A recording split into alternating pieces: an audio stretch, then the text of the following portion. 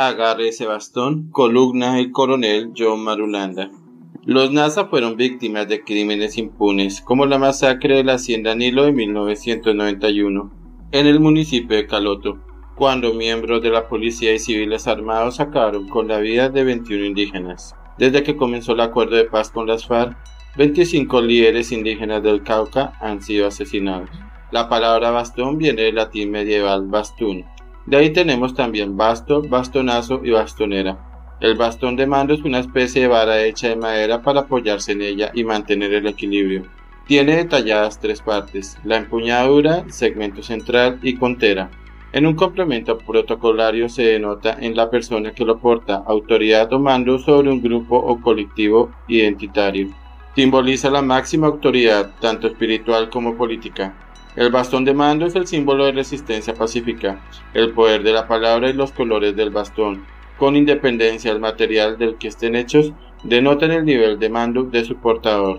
Es un complemento protocolario que connota en la persona que lo porta autoridad sobre una comunidad en particular.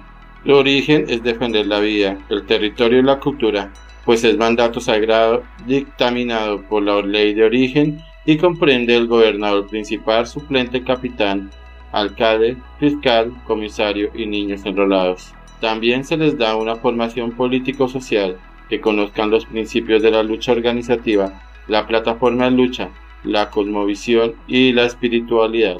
Estamos aquí porque seguimos apostándole a la paz total.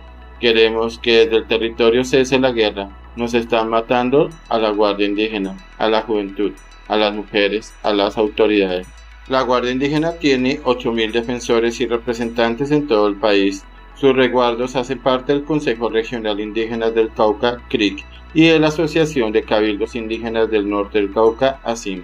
Llámese guardias indígenas, campesinas, cimarronas, autodefensas, primeras líneas, barras bravas, gaos, guerrillas, disidencias o como quieran llamarla, actualmente son usados en otros países por los alcaldes y los aspirantes al mismo cargo, a los consejos municipales, a las asambleas departamentales y a las juntas administradoras locales HAL.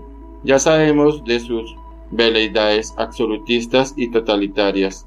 No le tenga miedo, presidente. Fíjese que ya Correa, Evo, Moreno y Lazo lo agarraron. Agarre ese bastón con firmeza. En su próxima salida al balcón agárrelo